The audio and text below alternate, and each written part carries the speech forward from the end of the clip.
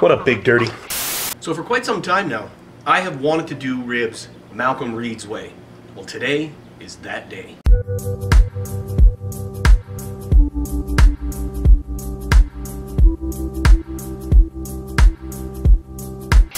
So you can see, I'm not just going to use uh, some of his seasoning and then just use whatever sauce and whatever method. I'm actually going to duck break.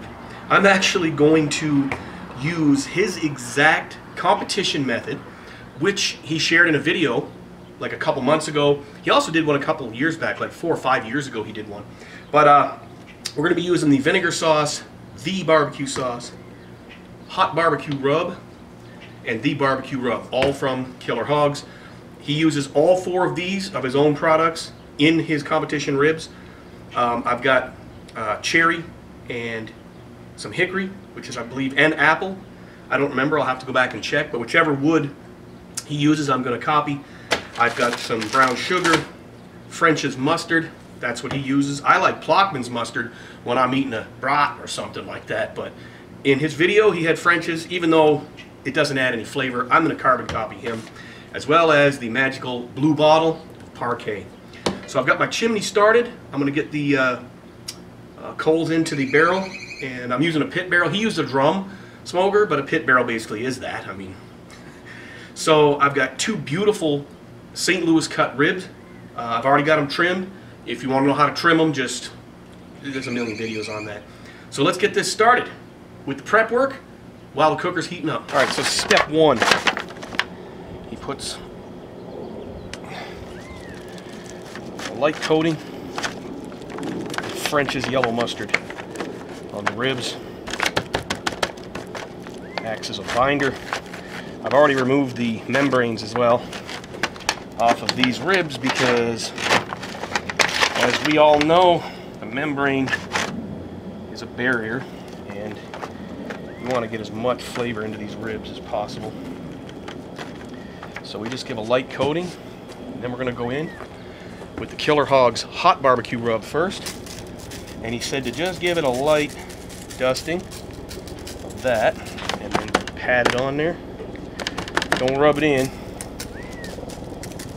pat it.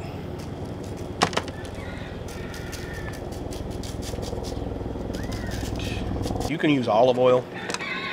If you don't want to use mustard, you can use, sometimes I'll hit it with a shot of cooking spray just to get something that the rub can bind to because you want it to bind and it acts like glue. All right, same thing on this side. And he said to put a very light coating again A hot rub. Add it on in there. Look good, look good. Oh yeah, buddy. Look at that. These ribs are already starting to look good enough to eat. There. And then, he said to go back in, this time with the barbecue rub, his actual rub, and layer that.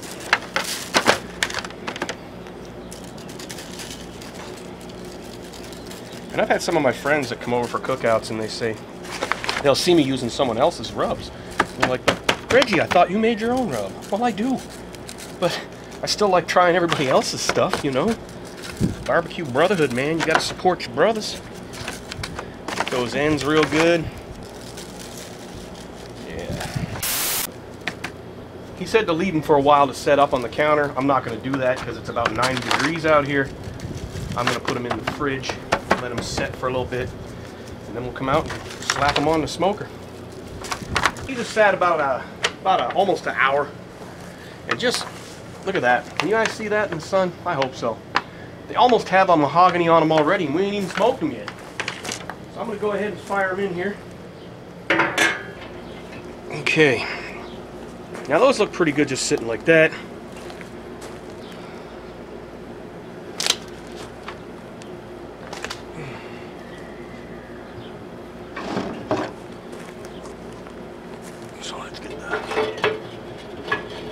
cooking rods back in. And on a pit barrel, these rods are actually part of the metering airflow system, so you want to put them back in place. I didn't hang the ribs. I'm cooking them on the rack because that's the way Malcom Reed did it. So now we're gonna close them up. All right, and we're gonna check back on those in about 30 minutes just to see how they're doing, just to make sure everything's going good, that they're cooking at the rate I want, and then we'll move on to the next step. I also want to point out real quick to pit barrel cooker owners or to any drum system, uh, there's no exact vent setting. Some days that vent is actually set halfway, depending if I want a hotter cook or hotter temps. And some days it's just, it just runs, you know, it needs more air, depending on a lot of factors in the atmosphere, barometrics, all that stuff. She's holding around 253, which is good. That's right in the zone that Malcom wants. I had to damp it down. I had to close it about a quarter. And for my elevation, Pit Barrel Cooker says that should be about half open for 2,000 feet. What's up, birdie? I gotta get that tree out of here. It did. almost did. The other one's great. But yeah, Pit Barrel says 2,000 feet. That vent should be halfway open. Well, some days yes, some days no. Just wanted to point that out to you guys. Uh, normally I don't use a, a, temperature probe at the grate because these things actually I, can, I just kind of know but I want to replicate uh, Malcom's uh, competition recipe as close as possible so and also I'm using a chunk of cherry and a chunk of hickory which is what he uses okay it's been 30 minutes Hit's holding at 252 which is pretty darn good I've got some apple juice a little bit of water same as Malcom Reed did. And we're just gonna spray it on these ribs, get them, keep the moisture on them. Oh yeah, those are looking good. A little bit of pullback from the bone right there. But these are gonna be about another hour, give or take. There we go. All right. So we're gonna let that climb back up to 250, it should recover pretty quickly. And leave them for another 30 minutes. Do the same thing.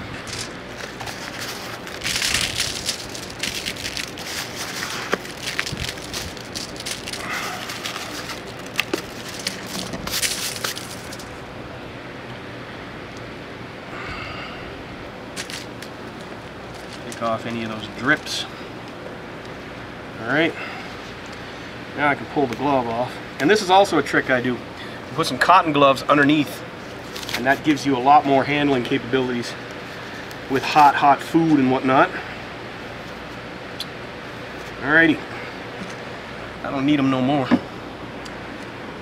Grab the vinegar sauce. Let me give it another quick shake. Oh, these things are smelling so good right now.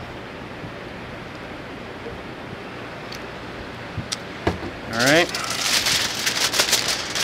wash, rinse, and repeat. And you should always roll the foil too. See how I roll that edge under instead of like just folding it one over the other? Creates a much better seal.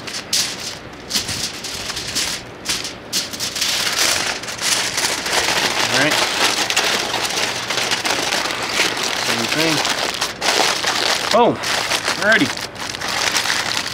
Those ends up. Okay, now we're going to leave them for about an hour. We're going to come back, check them, might be an hour and 15. You could tell by the, the bend, even without unwrapping them, uh, they should be nice and flexible, you know, but we'll check them in an hour. So I'm just going to monitor my pit's temp and we'll be back. So I've got the uh, sauce mixed. That's a 75% the barbecue sauce by Killer Hogs to 25% vinegar sauce and that's going to be the finishing glaze I've got it sitting on top of the pit barrel because he said it's good to warm up the sauce a bit. And you know it's an easy way to do it. Alright so we're gonna go ahead and have a little peek here. Let me bring you guys in here so you can see this. Ooh, man I wish you could smell what I can smell. And if they look about right. Because these ribs were pretty much equal size. If this one looks good, then I know they're both fine. Oh, yeah. All right, I'm gonna drain this juice off and we're gonna get these things back on and we're gonna glaze them with the 75 Killer Hogs the barbecue sauce, 25 Killer Hogs vinegar sauce mixture that's nice and warm. I spoke too soon, I just remembered. Malcom said to leave them for a good half hour. For a good half hour. Just don't touch them. Just let them rest, let them, let them stop cooking, let them cool down. So that's what I'm gonna do. I'm gonna keep the sauce warm and I'm actually gonna add a little bit more fuel because it's actually not as hot as I thought and this is where you do want a little bit of heat to kind of glaze them up. So I'm just gonna add a little bit more fuel to the, to the pit barrel and by the time that charcoal is ready to rock, 30 minutes is plenty of time. Uh, these will be ready to glaze. So we're just gonna leave them here and just let them rest.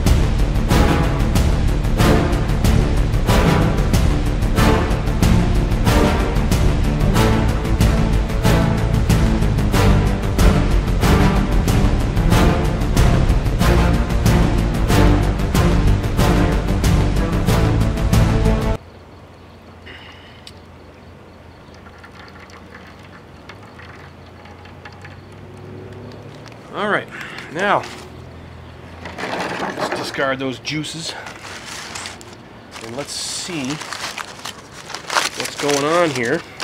Oh, look at that. That looks just like uh, Malcom Reed's. I don't know if there's enough light out here. I hope so, but I'm gonna go ahead and you see they feel like they're just about to break, which is what he said you want. So let me go ahead and make the foil boats to put these in. Then we're going to glaze them and see what what's what.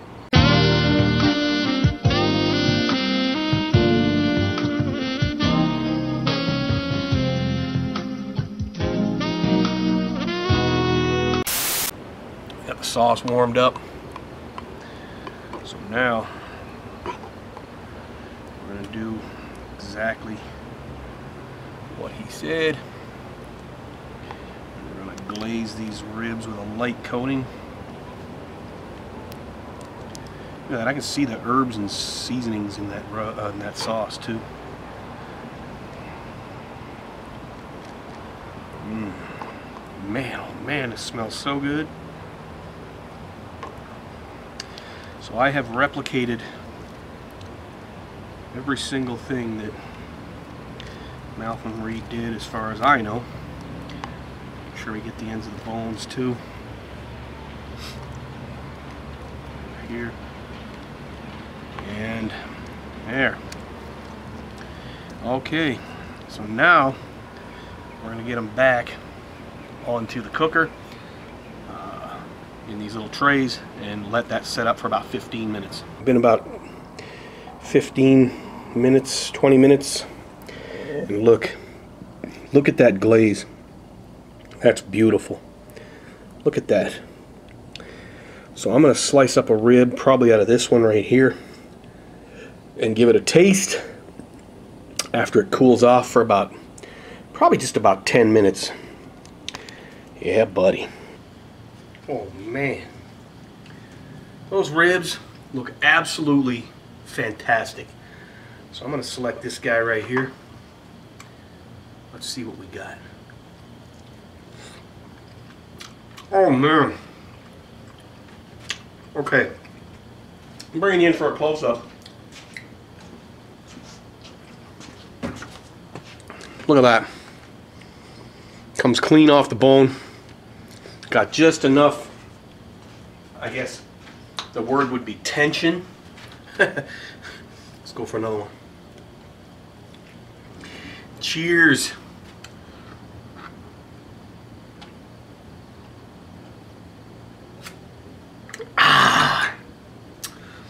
Nobody has a glass like that.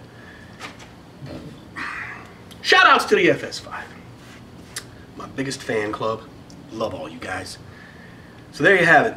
So how would I describe it? Very simple. Perfect amount of heat, sweet, savory, tangy vinegar, just just crazy. This is just crazy good barbecue. And I've got enough here probably to do, because I still have the mason jar with the 75-25 mix. Um, I could probably do another 8 or 10 racks of ribs with this. And I followed his steps exactly as far as how I seasoned them, how I sauced them, what temperatures I cooked at. I even cooked it in a barrel cooker like he did. I got sauce all over me. Awesome. But anyway, don't forget to comment. Don't forget to subscribe. And I'll see you guys in my next video. Oh, and I almost forgot to mention, don't forget to check out my contest video. I'm gonna do the drawing real soon. Link is in the description. Get your name in. All you gotta do is drop a comment. You don't even have to be subscribed to me. I'd appreciate a subscription, but you don't have to be. Just check out the link in the description, and you could win two of my absolute favorite sauces. They're not barbecue sauces. Just, just go check out the video. You'll see what I mean. You'll see what I'm saying. Know what I'm saying? See what I'm saying? Know what I'm saying? Alright, I'm out.